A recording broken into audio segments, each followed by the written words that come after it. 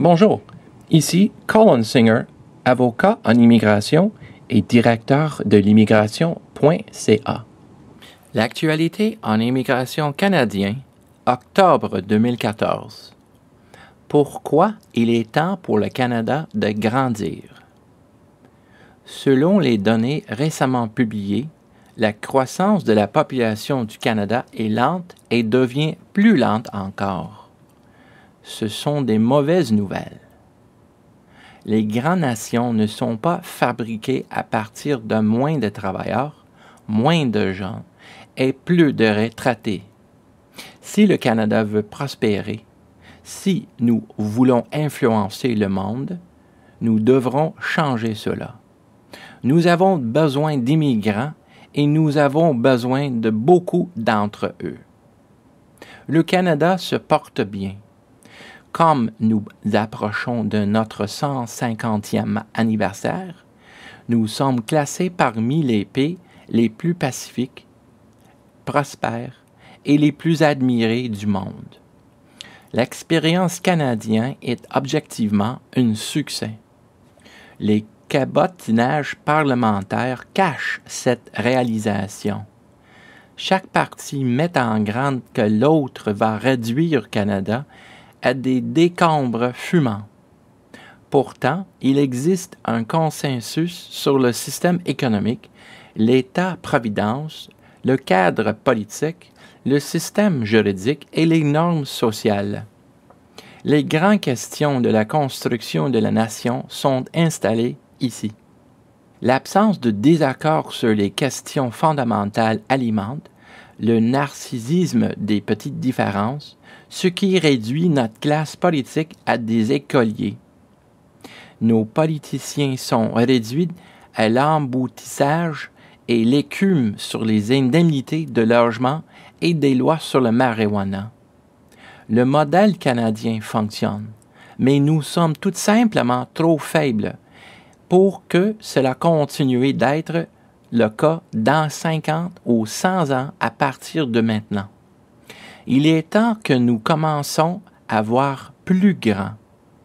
Bien que le Canada occupe le deuxième rang dans le monde de réputation, nous sommes 37e par population. Le rapport récemment publié de Statistique Canada, Projection démographique pour le Canada, montre que notre croissance est maintenant un retard de croissance. Notre taux de natalité continue de baiser sur les 258 000 immigrés que nous avons acceptés l'année dernière ne sont pas assez pour répondre à nos pénuries de main-d'œuvre ou accroître considérablement notre taille. Alors que notre croissance ralentit, notre vieillissement accélère. Le nombre de retraités canadiens est maintenant prévu pour augmenter de 15% à 25% au cours des prochaines 15 années. Un nombre croissant d'immigrants signifierait plus d'esprit, plus de mains et plus d'impôts. Il y a une idée fausse que les nouveaux arrivants sont une ponction nette sur notre économie. En fait, ils sont plus entreprenants et travaillent plus longtemps que la moyenne des Canadiens. Le muscle ajouté nous rendrait plus intelligents et plus forts et plus puissantes. Un grand pays signifierait aussi une voix plus importante. À 100 000 personnes, nous aurons une masse critique de culture et de gens pouvant se projeter à l'échelle internationale. Avec une armée plus grande et un plus grand budget fédéral, nous pourrions faire davantage de contributions au maintien de la paix et aux efforts de sécurité. Nous aimerions jouer un plus grand rôle dans les organismes multinationaux qui compte pour nous et nous aurions davantage d'importance dans les relations bilatérales dont nous avons besoin. Malheureusement, pour l'instant, le taux d'immigration est un sujet sensible rarement abordé dans la bonne société. Cela doit changer. Le public est assez mature et assez intelligent pour comprendre qu'ouvrir nos portes aux meilleurs et aux plus brillants n'aura que du bon pour le Canada.